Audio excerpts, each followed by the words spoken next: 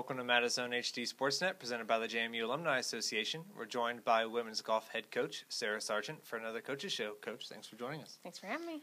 So we have really great stuff to talk about this week.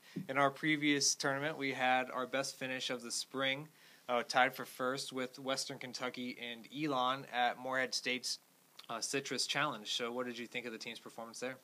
I was really happy with it. Um, going down there, that golf course, I have good vibes there. I won as a professional there, and then when I was at Coastal Carolina, our team won the UCF Challenge down there.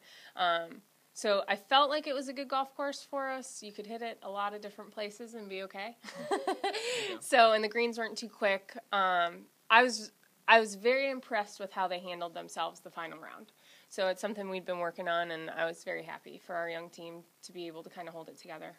Yeah, uh, leading that charge were Laura Gomez Ruiz and Maddie Cox, who finished fifth and sixth, respectively. Uh, what does it sort of do for the team? And you know, season where you've had your ups and downs, but they've been pretty consistent overall. Um, I'm very happy. Maddie's been cruising along. It's just going to be a matter of time, and I hope it's at conference um, where she just comes guns ablazing. Um, she's learned a lot from the fall to the spring on how to be patient. This isn't a game where you can sprinkle the fairy dust and run through it and everything works perfectly. Um, so for her, she's really working on that. Laura is finally getting back to the Laura that we knew. Um, like I said, for the previous tournament where she almost won, um, this is the Laura I know. This is the Laura I know how to coach. The Laura that has been playing the fall and the first tournament in the spring. It's really difficult for me because she usually is very confident. In those tournaments she wasn't very confident. So this is the laura that i can look at her and say like you can do this. And she's like yeah i know i can. Um, so again and there wasn't live scoring but if you if there were you would have seen laura was actually under par for every one of her rounds until the end. So again it still goes back to the fact that we're a really young team. It takes time for learning and it takes some harder work. Um, as much as they hate hearing that from me uh, you know again is it, golf is not easy you can be this close, but still so far away. So putting in a little extra work and um, going out there so it doesn't get this close again and it actually happens. Yeah.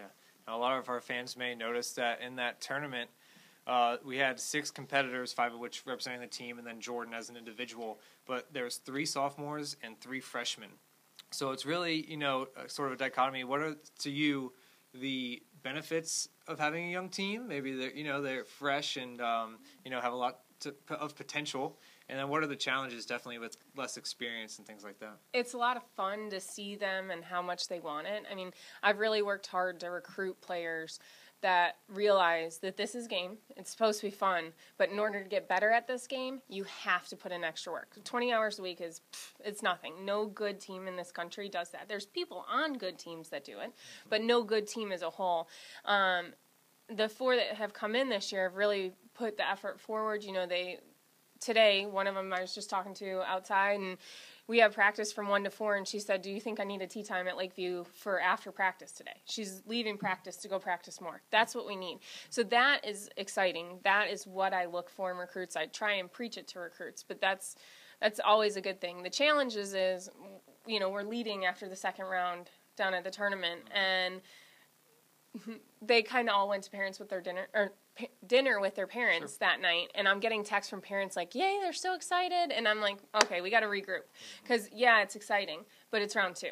Like we got to make it happen. So i said everyone needs to calm down. This is a process. Like i want you to be excited. I want you to enjoy this feeling but we also need to realize that we have one more day. And i think they handled it much better than they did at fiu when we were in the lead and they did. They realized you know we got one more day. We got to keep keep going with the process. So we're actually taking three freshmen and two sophomores to Ole Miss. So um, it's exciting to see where we could be. And the Elon coach and I had a conversation. He's like, "Man, you guys are young. You guys are going to be good in a couple of years," and that's exciting to me. Yeah, sure. So lots of, I would say, much more good than bad. Sure. For the young factor. Oh yeah. Well, you have a chance to keep that momentum going, as you mentioned. You're headed down to uh, Ole Miss hosted tournament, the Rebel Intercollegiate. It begins on April 1st, uh, this upcoming Friday, I believe. So, yeah. what do you hope to see out of that tournament?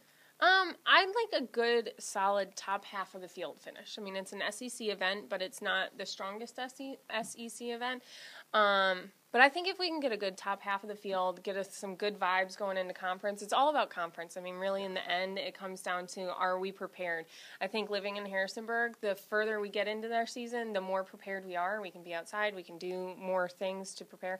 So I'm excited to see just building off of last week. Sure. And moving forward, getting ready for conference. Gotcha. Well, as the team gets their final tune up before the conference championships, definitely stay tuned to JMUSports.com and at JMUW Golf on Twitter for all your updates. Coach, thanks for joining us. Thanks.